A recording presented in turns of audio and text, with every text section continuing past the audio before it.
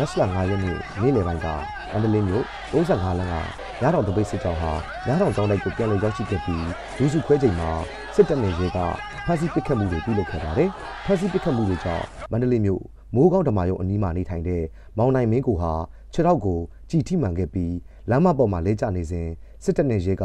ဝိုင်းဝန်းရိုက်နှက်ဖမ်းဆီးခဲ့ပြီးညနေပိုင်းမှာတေဆုံးခဲ့တာဖြစ်ပါတယ်။အမအမဒီလိုပဲနိုင်မင်းကိုကအဲ့မဲ့ညတော်ဘက်မှာဟွာဖြစ်တာ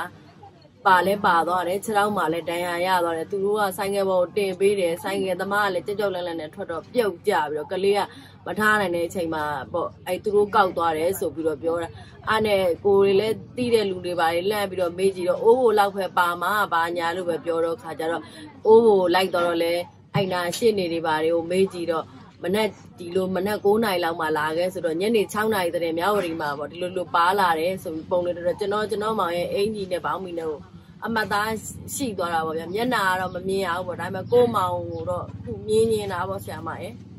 တည်ဆုံးသူကိုနိုင်မင်းကိုဟာ35လမ်းမြတောင်ကျောင်းနယ်အနီးမှာစစ်တပ်နဲ့ရဲကိုပြန်လည်ခုခံခဲ့တဲ့အတွက်ခုလိုပြစ်ခတ်ခဲ့ရတယ်လို့စစ်ကောင်စီရဲ့သတင်းဌာနကနေထုတ်ပြန်နေပေမဲ့ကိုနိုင်မင်းကိုဟာအိမ်ကထွက်သွားကြတဲ့ကဘာလက်နက်မှမပါဘူးလို့သူ့အမကပဲအခုလိုဆက်ပြောပါတယ်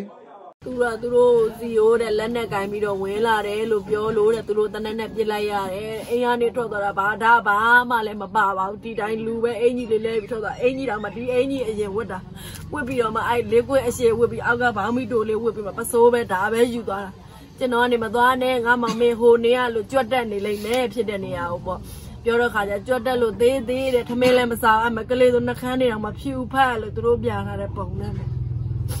န္တလေးမြို့မှာငင်းချမ်းစွာဆန္ဒပြနေတဲ့ပြည်သူတွေကိုရင်းနဲ့စစ်တပ်ကတစ်ခတ်ဖမ်းဆီးမှုတွေရှိခဲ့ပြီးမတ်လ9ရက်နေ့အထိတေဆုံးသူ12ယောက်ရှိနေတာဖြစ်ပါတယ်ခင်ဗျာ။